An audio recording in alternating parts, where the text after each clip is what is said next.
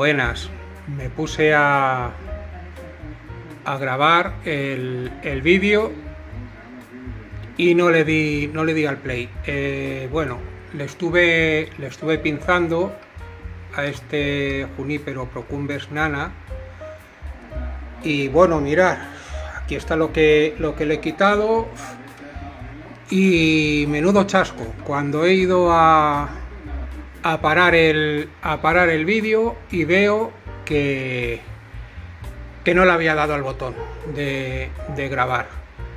Así que bueno, os voy a dejar un, un antes y un, y un, después.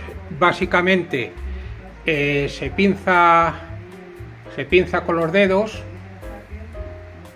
así las puntitas para para que recupere la, o sea, para volverle a dar la forma y de que eh, no nos no se nos vaya el, verde, seguir man, manteniéndolo compacto y bueno, y ayudar pues como siempre os digo para que penetre el penetre el, el sol, la luz y, y todo al interior.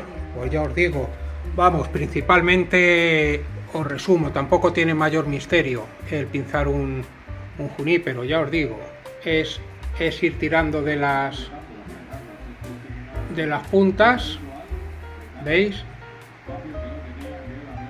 Casi evitamos que se sequen las, las puntas, que si lo cortamos con tijera, pues se nos, se nos secarían.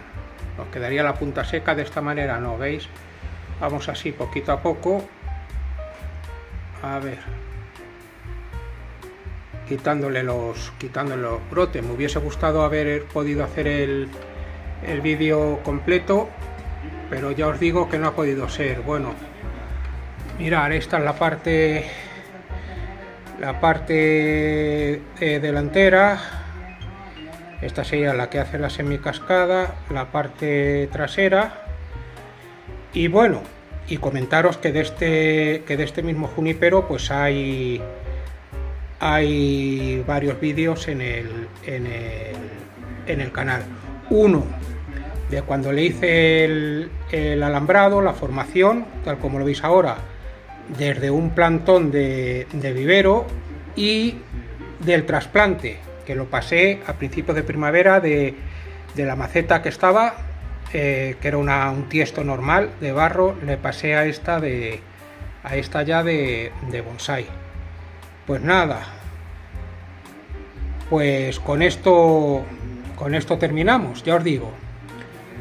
Eh, de todas maneras, cualquier cosa, cualquier pregunta, cualquier duda, me la dejáis en, me la dejáis en comentarios. Venga, pues un saludo y, y nos vemos.